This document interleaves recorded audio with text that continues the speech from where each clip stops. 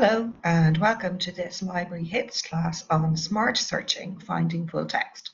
My name is Terry MacDonald and I'm the subject librarian for Law, Film and Drama Studies. You might be wondering what finding full text means. Well, your lecturer will be asking you to read a number of different items as part of your reading lists. Included in those items will be journal articles. And this is about finding the full text of the journal articles. By that we mean finding the links that bring you to the journal articles online so you'll be able to read, download and print them.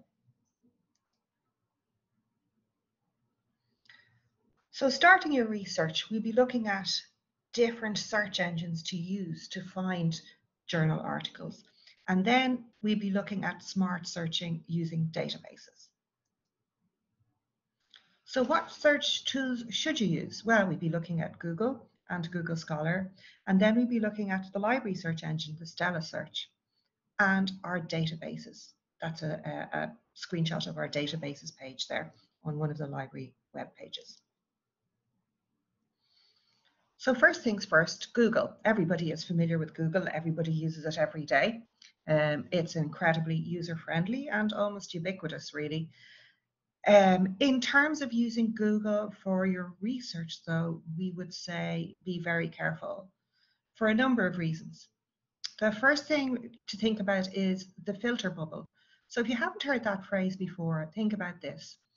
Google uses algorithms so that when you do a search, the algorithms will base the search results on previous search results that you've done and clicked on. So in other words, Google will come up with the results that you're most likely to click on, that the ones you, the search results that you will like. Now that's fine if you're looking for something like a hotel or a restaurant to, to go to. But if you're looking at doing your research using Google, think about this. How useful will the results be if they're only going to be the results that chime with your worldview, that that they're the results that you're just going to like? Secondly, search engine commercialization. Well, this happens a lot. You all know that if you type something into Google, among the first results is usually uh, results um, from companies looking to part you from your money.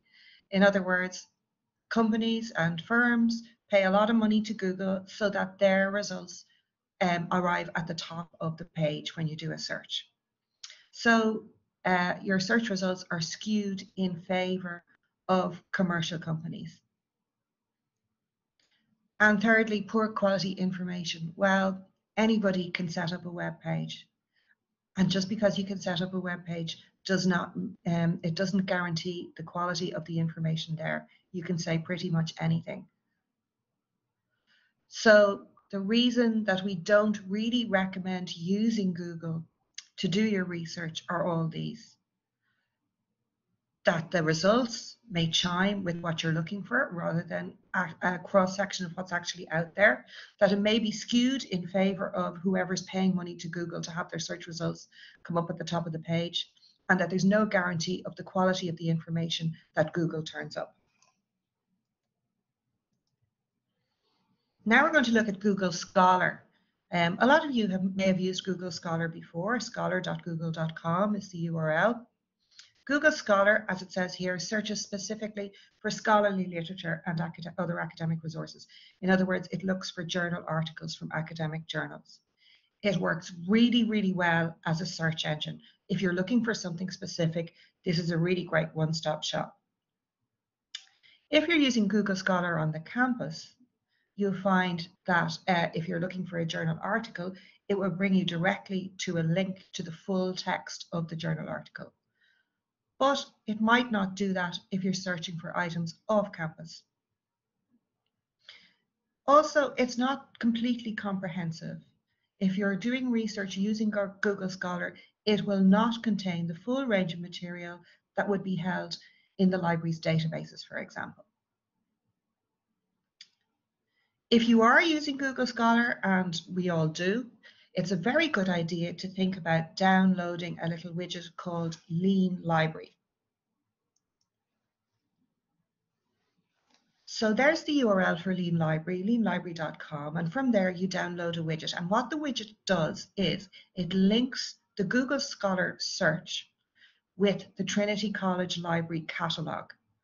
So once you do a search in Google Scholar, if you're outside the campus, it will automatically give you access to anything that the library has a subscription to.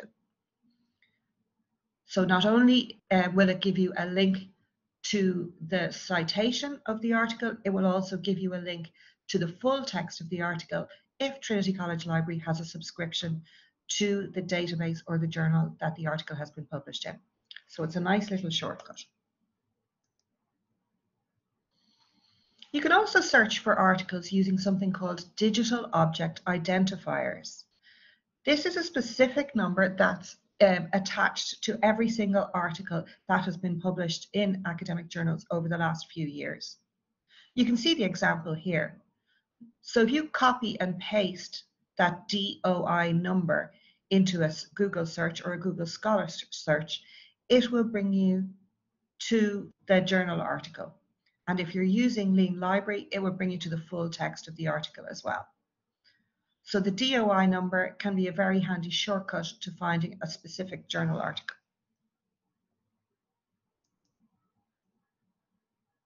How does Lean Library work? Well, here's the link to a journal article that was published in the journal Nature Physics back, back in 2009. It's called Measured Measurement. If you looked that up in Google Scholar, a little pop-up window appears on your screen and under the Trinity College Dublin crest is the link to set to give you access to this site.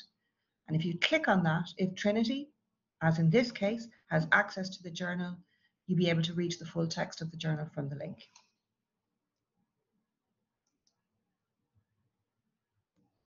Now we're going to look at the Stella search. That's the library search engine. If you go to the library homepage, tcd.ie slash library, or just Google TCD library, you'll find the Stella search. And what the Stella search does, it tells you what is available in Trinity College's library. Not only will it find books for your research, it will also find journal articles, theses, conference papers, and other materials as well, like um, music recordings and DVDs. You can filter your search um, to limit it by language or date or geographical area or the type of material. But be aware that not all our databases are covered by the Stella search. So I'm the subject librarian for law, and one of the most important databases that we use in law is called Westlaw. But journal articles published through Westlaw will not appear in the Stella search. So if you are relying on the Stella search solely for your research, you could be missing out on a fair old chunk of the academic articles that are out there.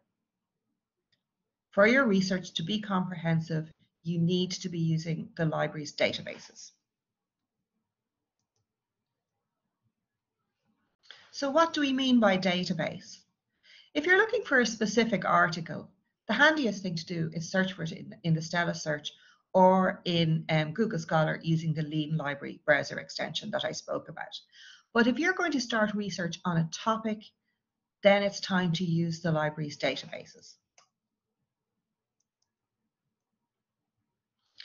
So here's a short uh, video about what databases are and when should you use them.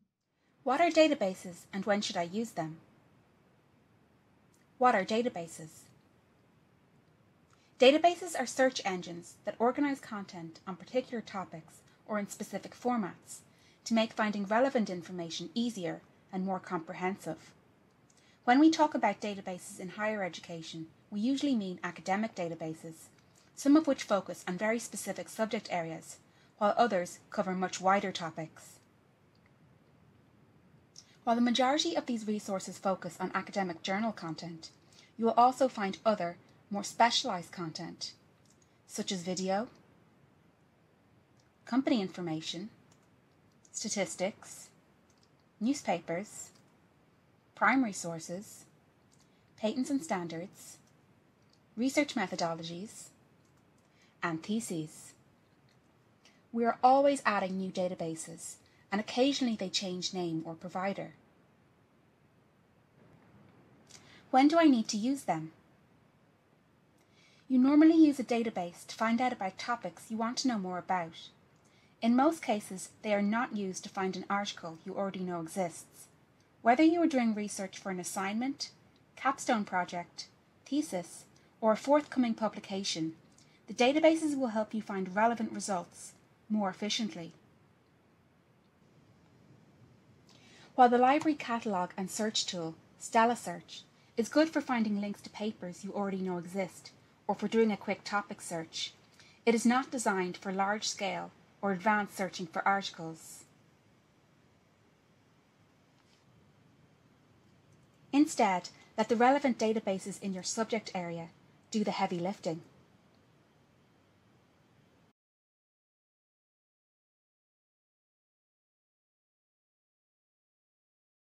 The library has access to more than 900 databases. Some of them are free and some of them we pay an awful lot of money for. The one thing they all have in common is the quality of the information that's there. You can be assured that the information in these databases is comprehensive, quality, quality assured, reliable, and most of it is peer reviewed as well.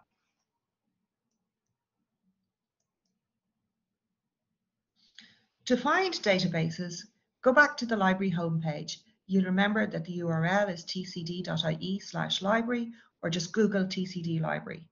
Then you can search for your specific database in the Stella search by just typing the name of the database in there. So if you're looking for Westlaw, you just type Westlaw into the Stella search and hit return.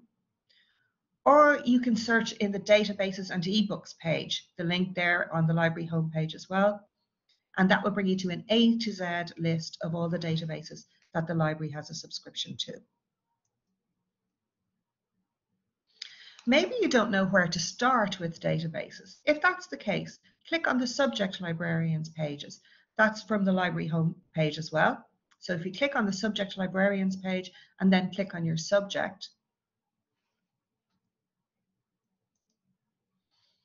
your subject librarian will have given you a list of databases from which to start your research. These are suggestions and they usually have something like best bets on, on the top of the list. Some databases are subject specific, and some, like this one here, Academic Search Complete, are multidisciplinary.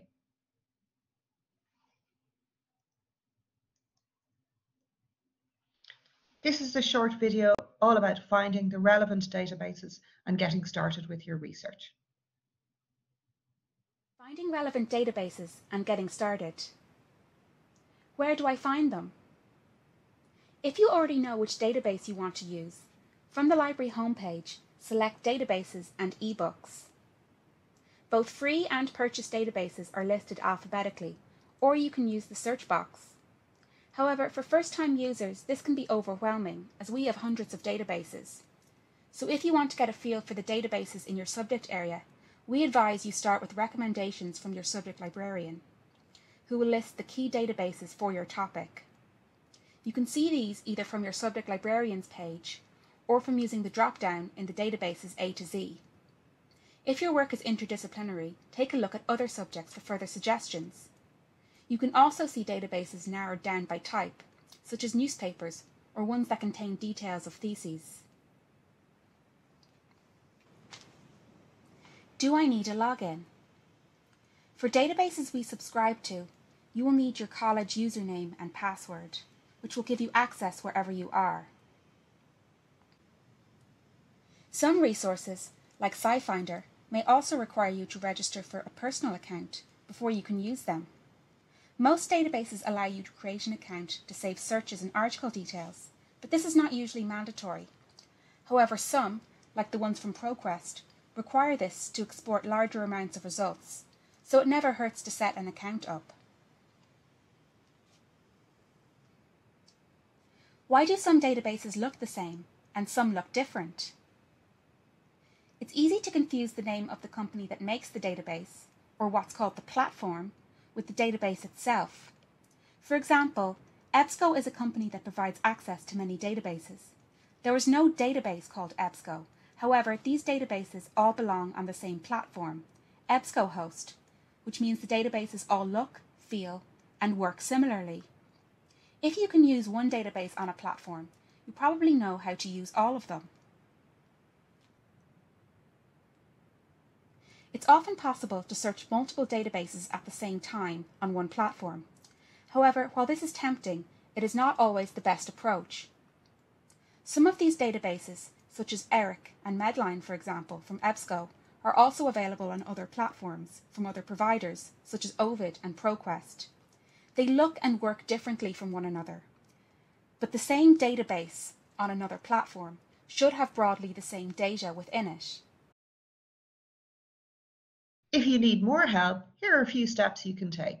First of all, contact your subject librarian. His or her contact details will be on the subject librarian's page. And to repeat, you can get to you can find a link to the subject librarian's page on the library homepage. Try attending some more of our HITS classes, either in person or online or by watching a recording like this one. We recommend trying Smart Searching 2, searching for topics using databases, as a follow-up to this one. Other classes you can attend include defining your research question, researching your literature review, and EndNote for beginners. EndNote is the bibliographic is a piece of software that manages bibliographies, and people find it very handy to use for um, keeping control of their bibliographies and their references when they're writing an essay or a dissertation. We also have a guides and tutorials page, which includes LibGuides on writing a literature review and doing a systematic review. Thank you for taking the time to watch this little tutorial. If you have any questions, you can contact the library on any of the contact using any of the contact details below.